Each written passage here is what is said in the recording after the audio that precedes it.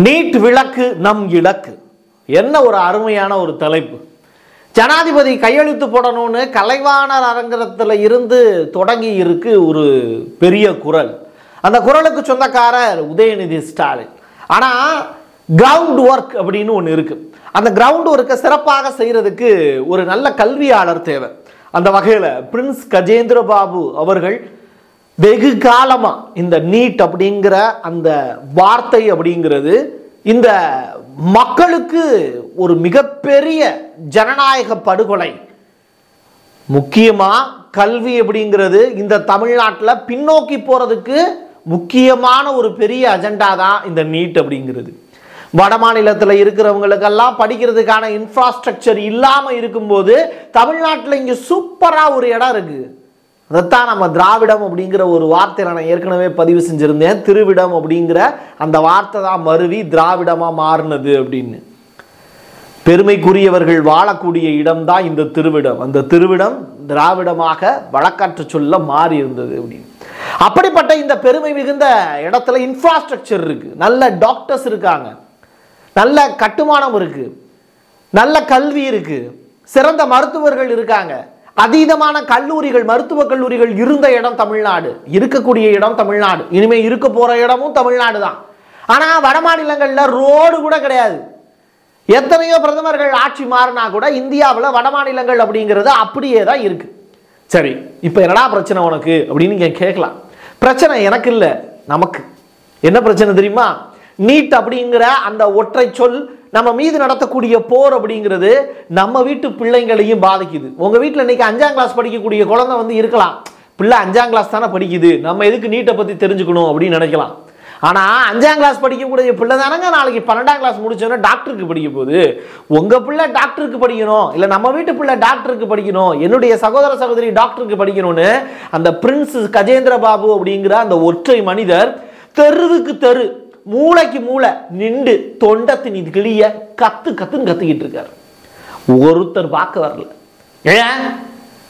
ஏன்?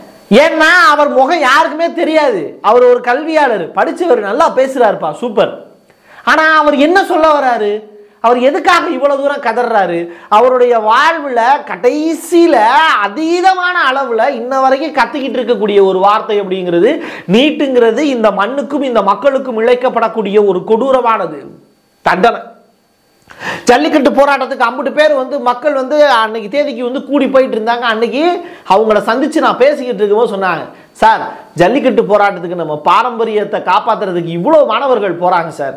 ரொம்ப மகிழ்ச்சியாக இருக்குது ஆனால் இந்த நீட்டுக்காகவும் இந்த மண்ணுக்காகவும் இந்த டாக்டர்கள் அப்படிங்கிற ஒரு வார்த்தைக்காகவும் இந்த குழந்தைங்களுக்காக தான் இந்த நீட் அப்படிங்கிற ஒரு வார்த்தை எவ்வளோ பெரிய ஜனநாயக படுகொலை அப்படிங்கிறத தொடர்ந்து சொல்லிக்கிட்டு இருக்கேன் சார். அதை காது கொடுத்து கேட்குறதுக்கு இன்றைக்கி இருக்கக்கூடிய இளைஞர்களே தயாராக இல்லை சார்னு புலம்பியிருக்கார்.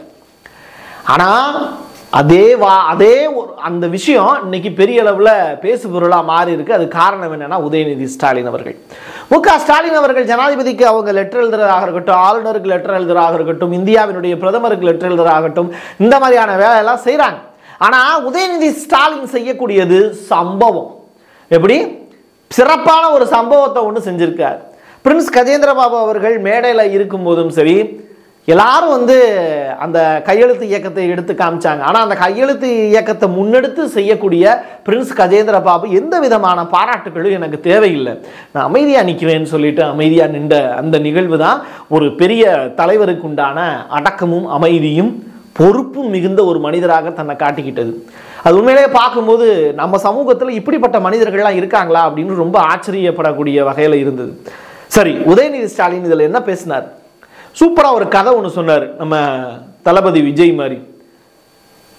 இந்த சாவி இருக்குல்ல சாவி அதை பார்த்து சுத்தியில் கேட்டுச்சான் நான் உன்னை விட பெரிய ஆளாக இருக்கேன் ஆனால் இந்த பூட்டை என்னால் திறக்க முடியலையே ஏன் அப்படின்னு கேட்டுச்சான் அப்போ இந்த சாவி சொல்லுது நீ வந்து பூட்டோட தலையில் ஓங்கி அடிக்கிற நான் பூட்டினுடைய இதயத்தை திறக்கிறேன். இதயத்தை போய் தொடுறேன் அதனால தான் என்னோட என்னால் சாவியாக இருக்கக்கூடிய என்னால் எளிமையாக பூட்டை திறக்க முடியுது அப்படிங்கிற ஸ்டேஜ் அதே மாதிரி தான் பாஜக அப்படிங்கிற சுத்தியல் பூட்டினுடைய தமிழர்களுடைய தலையில் ஓங்கி அடிக்குது. ஆனால் நாங்கள் திராவிட மாடல் ஆட்சியில் என்ன பண்ணுறோம் தெரியுமா? சாவி மாதிரி இருந்து பூட்டினுடைய இதயத்தை திறக்கிறோம். அதனால தான் இந்த மக்கள் எங்களுக்கு வாக்களிக்கிறாங்க. இவங்க எங்களுடைய மக்களாக இருக்காங்க. மொத காரியம் இதை ஆரம்பித்து வச்சது பெரியார். அதற்கு பின்னாடி வழிவகுத்து கொடுத்தவர் அண்ணா. அவரை பார்த்து அதை இயக்கத்தை வழி நடத்தினவர் கலைஞர். அவருக்கு பிறகு அது கைமாறி நிற்கிறது தான் இன்னைக்கு மு ஸ்டாலின். நாளைக்கு உதயநிதி ஸ்டாலின் அவர்களுடைய கையிலையும் இந்த திராவிட மாடல் ஆட்சி பொறுப்போடு ஒப்படைக்கப்படுங்கிறதுல மாற்று கருத்து இருக்கவே முடியாது. அப்படிப்பட்ட இந்த திராவிட மாடல் ஆட்சி சனாதனம் அப்படிங்கிற ஒரு வார்த்தைக்கு எதிராக எடுத்த போர் அப்படிங்கிறது உதயநிதி சொன்ன வார்த்தைகளுக்கு பிறகுதான் இந்தியா முழுவதும் உதயநிதிங்கிற வார்த்தை பெரிய அளவில் பேசுபொருளாக மாறுது. வருகின்ற டிசம்பர் மாதம் முடிசூடா அரசனாக துணை முதல்வராக அவருக்கு பதவி அப்படிங்கிற ஒரு விஷயம் கொடுக்கப்படுங்கிறது மகிழ்ச்சியான செய்தி. ஆனா நீட் அப்படிங்கிற அந்த விவகாரத்துல எப்படி செங்கலை தூக்கி வந்து எய்ம்ஸ் கட்டடம் வந்து இன்ன வரைக்கும் கட்டப்படலை அப்படின்னு சொன்னாரோ அதே மாதிரி இன்னைக்கு முட்டையை தூக்கி காமிச்சு கோழி முட்டையை பாருங்க. ஒரு கோழி முட்டை இருந்தது அப்படின்னா நீங்க முதுகலை மருத்துவ படிப்பில் சேர்ந்துடலாம். எப்படி? முதுநிலை மாணவர் படிப்பில் சேர்றதுக்கு ஜீரோ பர்சன்டேஜ் இருந்தாலே உங்களால் சேர முடியும். காசு இருக்கிறவன் பூரா டாக்டர் ஆக முடியும் அப்படிங்கிற ஒரு சூழலை உருவாக்குனாங்கல்ல. அப்போ பெரிய பெரிய பணக்காரன் மட்டும்தான் இங்கே டாக்டர் ஆக முடியும். அப்போ மீதி இருக்கக்கூடிய ஏழைகள்லாம் டாக்டராகவே ஆக முடியாது. நீட்டில் தேர்ச்சி அடைந்தாலும் சரி பன்னிரெண்டாம் வகுப்பு மாணவர்கள்லாம் அதிக அளவில் தேர்ச்சி அடைந்தாலும் சரி அவங்களால டாக்டர் ஆகிறதுக்கான வாய்ப்புங்கிறது கம்மியே அப்படின்னா இங்கே காசு இருக்கிறவன் சீட்டை கொடுத்து மேனேஜ்மெண்ட் கோட்டாலாம் வாங்கிட்டு போயிடுறான். முதுநிலை படிப்பில் வந்து ஒரு தகுதின்னு ஒன்று இருந்தது. இவ்வளோ மார்க் எடுத்து எடுத்தாதான் நீ முதுநிலை படிப்பு சேரணும்னு இருந்தது ஆனால் நீ ஜீரோ மார்க் வச்சிருந்தீங்கன்னா கூட எழுதுனீனாலே போதும் உன்னால் முதுநிலை மருத்துவ படிப்பில் சேர்ந்துடலாம் அப்படின்னு இருந்தா காசு இருக்கிறவன் மட்டும்தானே? அங்கே போய் உட்காந்து படிக்க முடியுது. அவன் படிக்க அப்போ அவன் அங்கேயும் மூட்டை மார்க் எடுத்தால் கூட அவனால் என்ன பண்ண முடியும்? உங்களுக்கு வந்து ஊசி போட முடியும் உங்களுக்கு மருந்து கொடுக்க முடியும் உங்களுக்கு அறுவை சிகிச்சை செய்ய முடியும்னா இது என்ன உடம்பா இல்லை என்ன இது? அப்போது இங்கே தரமான கல்வியை கொடுத்துக்கிட்டு இருக்கக்கூடிய திராவிட மாடல் ஆட்சியும் திமுகவுக்கும் ஓட்டு போட்டு தான் மக்கள் இன்னைக்கு ஆட்சி பீடத்தில் உட்கார வச்சிருக்காங்க. அப்போ அவங்க இந்த மக்களுக்கு ஏதாவது ஒரு நல்ல விஷயம் செய்யணும் அப்படின்னா அதுக்கு மத்திய அரசு சரியான வழிகாட்டுதலை கொடுக்கணும். உங்களால் ச- வட மாநிலங்களில் இன்ஃப்ராஸ்ட்ரக்சர் கொடுக்க முடியலங்கிற ஒரே காரணத்தினால எங்கே இன்ஃப்ராஸ்ட்ரக்சர் இருக்கோ அங்கே போய் நீ படிச்சுக்கோ அப்படின்னு அங்கே இருக்கக்கூடிய மாணவர்களை எல்லாம் இங்கே துரத்தி விடுறீங்கல்ல இதைத்தான் தப்புன்னு சொல்கிறான் திராவிட மாணவர் அப்போ ஏன் மண்ணுக்கு ஏன் மக்களுக்கு எங்கே போகிறது நான்? எங்க போறது? அங்கே போய் நீ படிக்க சொல்றியா? அங்கே ஒண்ணுமே இல்லையே. உன் உன் உன் நாட்டில் நீ எதுவுமே வச்சிருக்கலையே.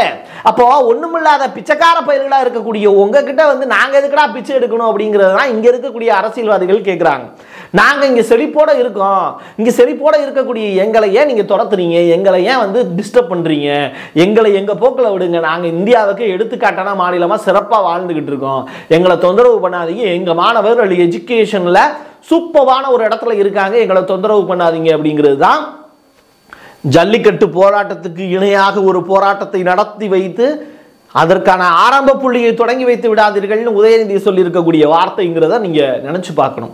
அப்போ பிரின்ஸ் கஜேந்திரபாபு மாதிரியான கல்வியாளர்களும் உதயநிதி ஸ்டாலின் மாதிரியான அரசியல்வாதிகளும் இந்த தமிழ்நாட்டில் இருக்கிற வரைக்கும் இங்கே ஜனநாயகங்கிறது செழித்தோங்கும். பெரியாருடைய கொள்கையும் அண்ணாவினுடைய கொள்கையும் கலைஞருடைய அந்த பேச்சாற்றலும் இன்னமும் இந்த மக்களுடைய உதடுகளில் உச்சரிக்கப்பட்டுக்கிட்டே தான் இருக்கு. இது யாராலையும் அழிக்க முடியாது. இது கல்வியில் சிறந்து விளங்கக்கூடிய தமிழ்நாடு.